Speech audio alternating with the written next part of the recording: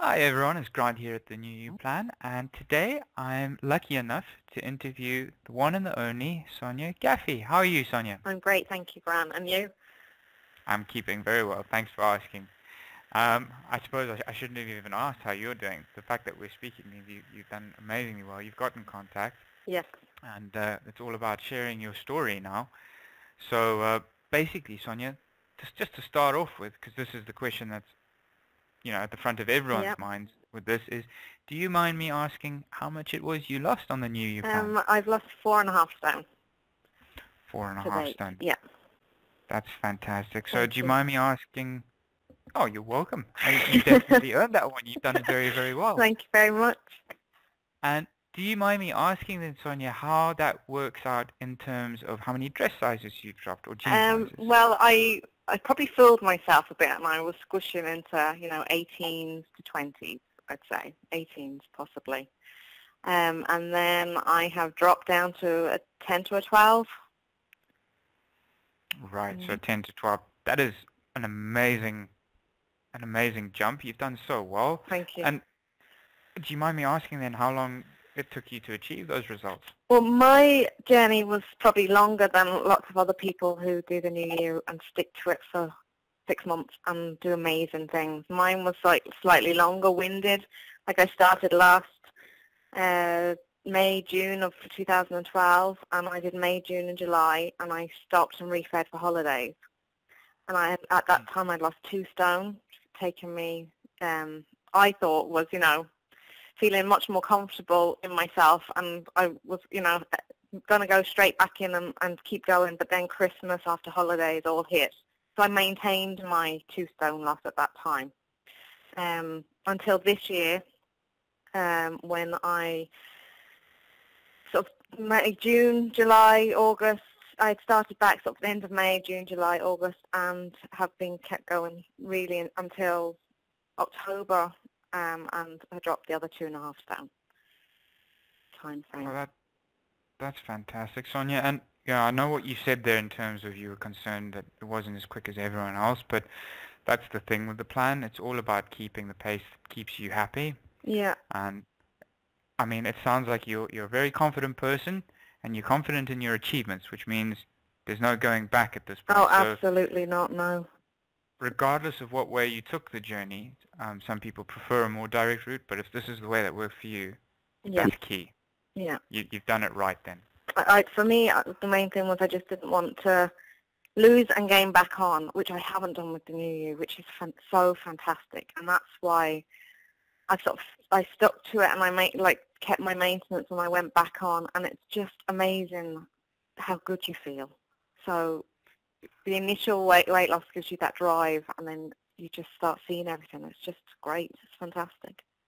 Absolutely. No, that reminds me of me when I first did it. Literally within the first couple of days, I could see like the around my face, yeah. the weight starting to drop off, and it's it's an amazing feeling. You don't and feel the bloatiness you... anymore. You know. Yes. Yeah. it's amazing. and, I, and I, I also remember one one vivid memory scooting across the courtyard here and uh, having to keep grabbing my jeans. That was a, a fantastic yeah. thing. I'm sure anyone that was looking at me was going, "Oh, he couldn't even buy a pair of jeans that fit." Yeah. Meanwhile, I was grinning ear from from ear to of ear. Of course, so, it's the most amazing yeah. feeling, and the energy levels change completely. So yes. you're able to do so much more within a week. After first week, if you get the first week under your belt, you just like feel so great. But you, yes. it makes you drive. You know, have the drive to keep going. So absolutely, 100% agree with that one. Yeah. Down to experience that one. Yeah. No. and Sonya, so we've you know I've got an idea then. Well, not an idea. I know exactly what it is that you've achieved, and that's awesome. Now the question is for me, do you mind me asking what it was that pushed you at the beginning to start? So the fact is, on before day one, the things that made you think, this is it, this is why I want this. To be honest, I tried so many other things. I, like I have never been a skinny mini. You know, I've always sort of carried a wee bit weight, and my weight fluctuated a lot. Um, and then I tried lots of other different diets.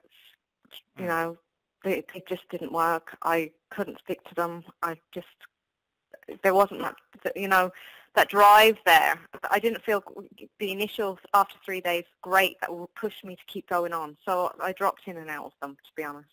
So when I I had two little uh, girls who are now five and seven, and I just felt, you know what, I have to start gaining my life back.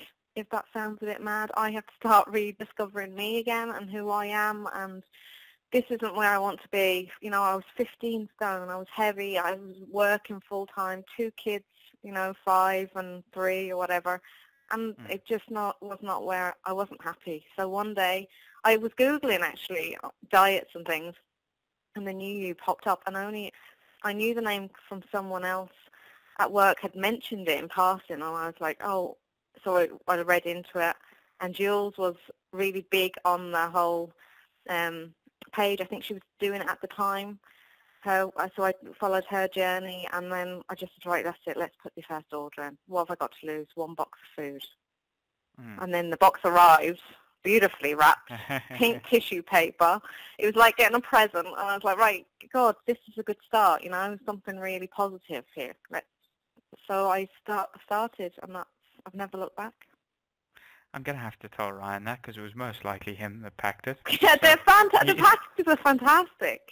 You know, the, the, that's the bonus. You get the box. It's not like just getting, you know, horrible packaging. It's really nice. It's well placed, well thought out. Ellie throws in the odd little comment, little cart sheet, and it really makes you feel that you're just not a number in this big, you know, world. That that you, you know, you deserve to be slim and you deserve to have these nice things. And the food is fantastic. That's fantastic. So do you, mind me asking, was there any other reasons that maybe also pushed you? I mean, obviously your kids are first and foremost the most important reason, but was there anything else there that pushed you? Well, I, well, I didn't want to be the fat mom. You know, fat mom, fat mom. It sounds terrible, but you know, the fat mom at the gate, school gate. I didn't want to be you know, in my early 30s, not, you know, looking in the mirror and going, gosh, you, you know, you're young, you look great. I didn't, you know, I'd lost myself. So my sister's wedding was coming. I had to find myself. I had to look good. I had to feel good, not even looking good. I had to feel good first so I could look at myself and think, yeah, you're worth it. And that mm. one day, that was it. I just said, I have to do something loads of different diets haven't worked. And then I just it for a biscuit with the new you. You know, one box Absolutely. of food wasn't going to cost me, you know, a huge amount because cost is a huge factor when you're trying to lose weight because you can't mm. be affording to buy food and diet food. And mm. so, yeah, I found just, thank God, it was the best thing I ever did. well, I, you know, as soon as we saw the, the photos, the transformation photos, we were all it's mind blowing. You've done so well. Two Thank thumbs you. up to you. Know, Thank big you. round of applause. Because even my sister said, "It was that you really in the photo." And she just can't remember. Yes, it was. You know, it's terrible when you look back and you think, "God, was that really me?" But yeah. Well, very well done. And the the next thing then is so you those were the reasons for starting. Yes. And have you found that as your you know, you've achieved your weight loss goals, have your perceptions shifted and have your goals and dreams also shifted? Um, you know, because obviously you were doing it for your kids and and that sort of thing. But you would you did you find as the journey went along, you were th- thinking to yourself, "Hey, this is great. I can do this now," and then that yeah. sort of thing. Yeah. Well, I never, you know, you know, spent a lot of time on myself. I never did went to any classes or gym classes or I was like, God, I'll be the fat girl at the back and I won't be able to, you know, I'll be ridiculous. So I didn't really do anything. I'd, you know, go to work, look after the kids, and I was the girl sitting in front of the telly every night. And I, and then when I started to lose weight, I gained the confidence to be able to go out by myself and join classes that I never was able to go to before. You know, and meet new people that didn't look at me like I was the fat girl in the class, but I could, you know, mm-hmm. I was there. I had the energy to do it, which was a huge thing for me because I always danced. Because you know, we we were very active kids.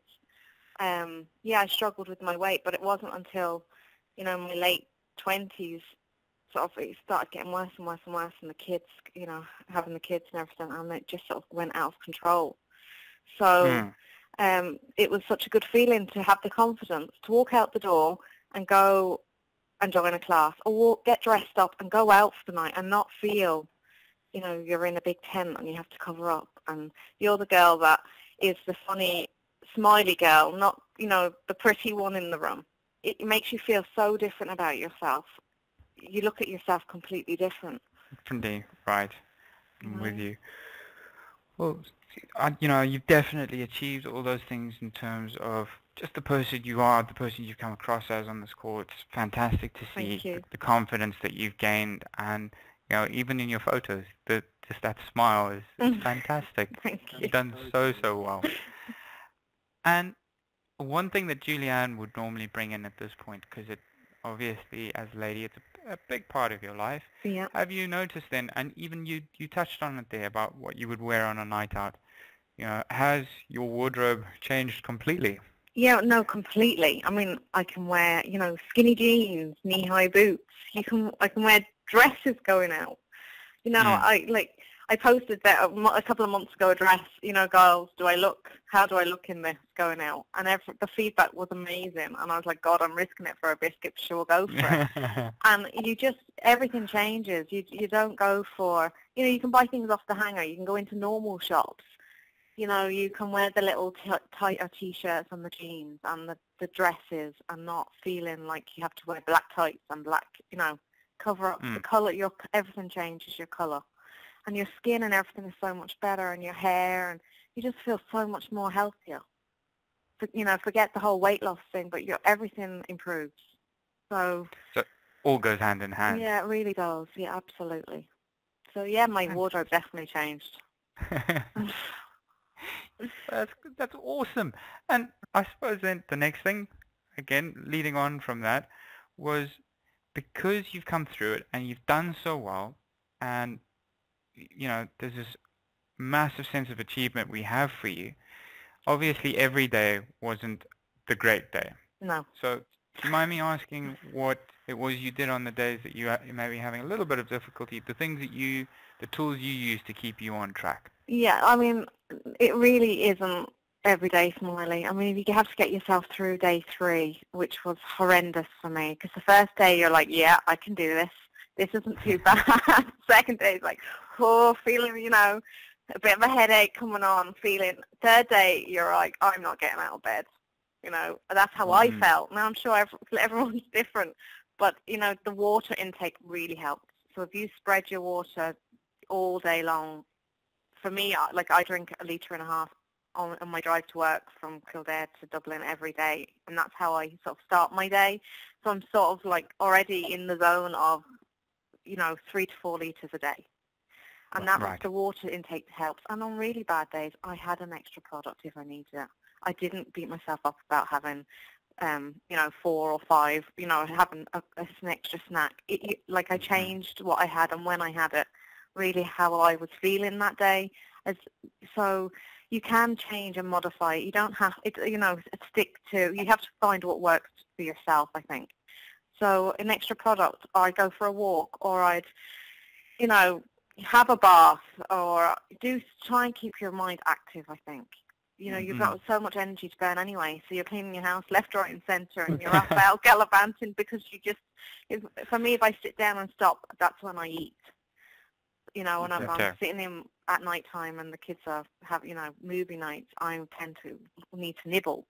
So have an extra product. I found that helped me through those times that everyone around me was stuffing their faces and I didn't want to feel left out or deprived because you don't have to be because the food tastes so nice. So. Absolutely. Well, that's that's the, you know, everyone has their tricks. Now those would be definitely some of mine would have overlapped with yours there. So that's why I always mm. ask this because there's some things that may just instantly click for yeah. other people. Yeah. And because you've done every aspect of this diet, I yeah. was hoping to maybe look into your day-to-day routine, both on total food replacement and okay. then also refeeding. Okay. Um, well, I'm up I'm early girl, so I, you know, leave the house by half seven, seven, half seven in the morning. That's after getting the kids sort of organised and I'm out the door. And I drive for an hour to an hour and a half to work every day. So I water is my thing. I drink water all, you know, until I get to work. And at nine o'clock, I'm dying for a cup of coffee, and I have to have my bowl of porridge because I've been up early. So every morning I have a bowl of New um, porridge. Even if I'm not on the diet, I'm still having the, the New porridge because I absolutely adore it. Um, and then my lunchtime at work is set between one and two, so I have to eat at one and two. Right. Um, so I would, I tend to have a hot meal at one or two, between one and two, to help me through the day. Right. Um, and black tea and black coffee is no problem for me because I don't drink milk anyway, so that's a godsend. And then if I needed something in between, I'd have a, a broth, you know, which was fantastic. The whole broth thing is just amazing when that came out. Um, mm. And then I tend to have a snack or a bar or something sort of about, you know, the, when they're all having coffee at three, three, half three, four o'clock in the office. Mm, and so I'm right. not feeling left out. and I have a coffee and the bars, which are, are the only, my life sense. They the only thing really that got me through most days. The truffle bars, and then when the new ones came out, the cookie crumble bar was just absolutely divine. So, and I still do that. I still have that every day too. Um, and then I have my dinner probably about seven, and that then water up to the evening. That sort of was how I spaced my four products out during the day. So I never felt, you know, there was huge gaps in between. Lots of people I noticed tend to have something really late at night, um, you know, to get them through the evening. That wasn't my daytime is my downfall really. I eat, I pick all day if I could, but. Right, I'm I'm exactly the same Yeah. as you. That was why I used to have to have my exact times. It was kind of like I was training my, my brain to know when to expect it. And like you, I didn't didn't do it too late in the evening. Yeah. And uh, I'm glad you like the broth and the the, Oh the new uh, The new cream bars, cookie bars. are fantastic, and the chocolate snacks, they're just, I, I'd have them over anything nowadays. I, I love them. I still have them all the time. yes, there there definitely a, a certain amount of decadence to them, yeah. and I love them. They don't feel like diet, you know, diet, none of the food uh, feels like diet food, but they really feel like you're having a treat, so. Absolutely.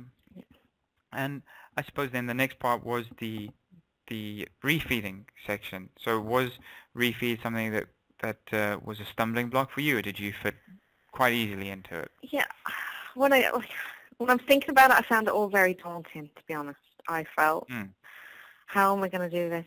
Oh gosh, I'm going to put it all back on. You know, I refed originally the first time for holidays, and I was like, I'm sure I've wasted the last few months. I'm just going to blow it now. I'll be on holidays. But I, I actually brought snacks with me, and when I was there, but for my couple of weeks free feed, it was great because the maintainers group is great, and the girls post like their dinner and what they've had, and it actually really helps you structure what you're going to have yourself.